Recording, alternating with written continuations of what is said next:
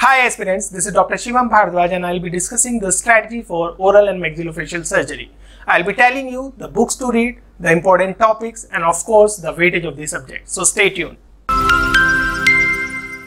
Now let's gear up for the strategy for oral surgery. So this is a wonderful subject and most of the people who have taken the BDS, they'll be uh, willing to get into the MDS for the oral surgery, right? And those who are doing the general dentistry also they'll be having more charm for the oral surgical procedure for sure. So this oral surgery uh, is one of the core subject of the dentistry i must say. It is uh, something that connects us to the surgery and that's why we should have a very good approach for this particular subject. So what are the prerequisites for this particular subject? Of course knowing the anatomy knowing the various LA technique and yes, of course, it is related to exodontia. So exodontia we are going to perform in our day-to-day -day life being the dentist. So we have to have good approach for the practical as well as the theoretical aspects. So when it comes to this subject, we should always try to correlate the uh, different chapters and different topics of the oral surgery to our clinical practices. That's not only give you the confidence for your clinical thing, but it will retain your memory for a longer duration. This subject is not only uh, important for your general dentistry or the clinical practice, but it also has a significant proportion for the exams like NEET and INI-CET. So if we see the previous year's analysis of the questions which were asked from the oral surgery uh, in NEET MDS in 2016 in AIPG, there were 11 questions in 2017, 18 and 19, 14, 16 and 12 questions were asked from this particular subject. In 2020, there were 15 questions and this year also there were almost 13 direct questions from oral surgery and this is very conceptual subject and since you practice this in your day-to-day -day dentistry, so you are going to crack all the 13 questions if you just read the important topics which are highlighted. So before we get into the depth of the important topics, let me discuss some of the important books, right? There are a lot of uh, books, an array of the books for the uh, oral surgical aspect and you have to focus on specific topics from different books. For example, if I say mandibular fracture, you'll have to focus on the Killey and Kay. If I say uh, the surgical aspects of the maxillary uh, and the uh, maxillary sinus and the temporomandibular joint, then you have to focus on the principles, uh, Peterson's principles. If I have to tell you about the different other salivary gland pathology and their uh, aspects, then you have to go for the contemporary surgery, right? So, uh, there are a lot of books. I'm just enlisting two of them. One is your Peterson's Principles of Oral and Maxillofacial Surgery. All the surgical aspects and all the surgical procedures are given too much details in that. And even the other books are going to refer this particular book for giving the techniques and the surgical procedures. Then we have another very beautiful book and very simple book that is your contemporary oral and maxillofacial surgery. Some people consider this to be Peterson's also. Yes, this was also written by Peterson or another authors are Larry J. Peterson, E. Ellis, J. Hupp and the Tucker. So if you uh, want a clear aspect, uh, the figure are illustrated very beautifully in this particular book. So if you want to go for this, you can read the contemporary oral and maxillofacial surgery and it is very good for your exodontia, it is very good for your salivary gland pathology and impaction is given in very much details and very lucid language is there. Then we have another book that is your Indian author. If you are willing to go for the Indian author, then Neelima Malik is something that is considered as standard for the Indian examination. And we have Balaji. Other books like Fonseca is also there. So uh, there are a lot of books. We cannot count all these books. So uh, for the exam, uh, like uh, NEET as well as your INI-CET, you are not going to read so many of the books. That's why we have compiled the information of all these books into the bytes. So if we see our bytes here, high notes and videos are given uh, attached to the bytes actually so there are the important topics which have been asked and a lot of questions in depth are asked from INICET as well as in NEET examination so you have to do all these important topics here. So we have given the compilation of all the important books and important information from the books which is expected for the exam. So this is something that we have to be very thorough with and you have to remember even the smallest information from the bytes itself.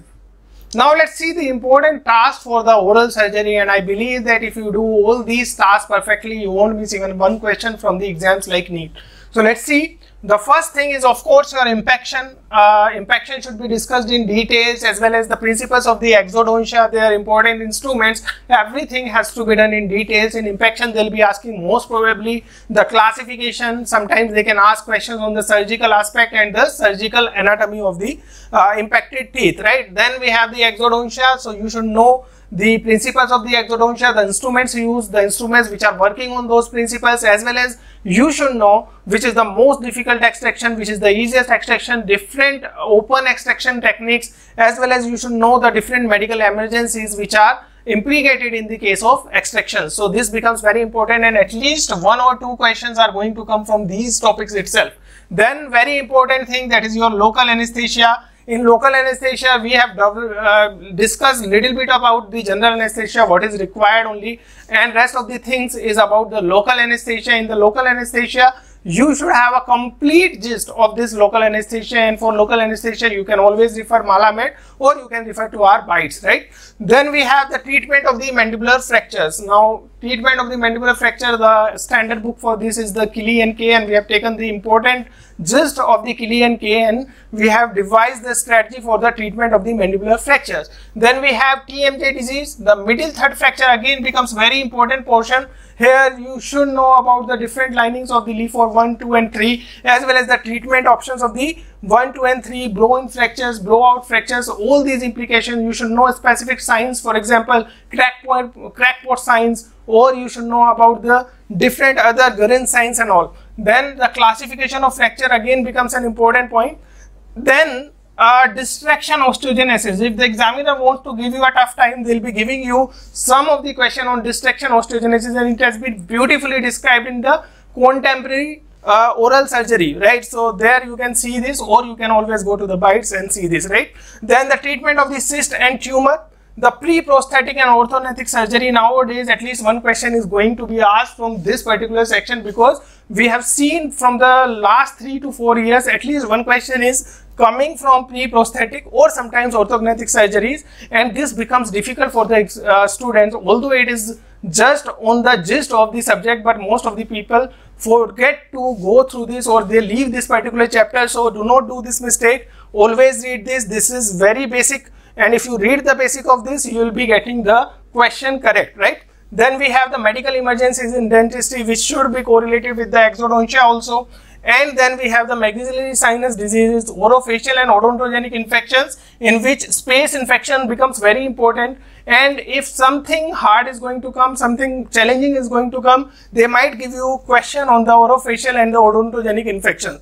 Of course miscellaneous part 1 and miscellaneous part 2 in that certain topics in which some of the questions were asked. For example, if I write it here, biopsy, then we have cryosurgery, then we have shock. Although it is discussed in general surgery also, we can always uh, get some question on the oral surgical aspect also. Then there are other things, uh, for example, cytology and some other lasers different uh, newer techniques for your surgical treatment.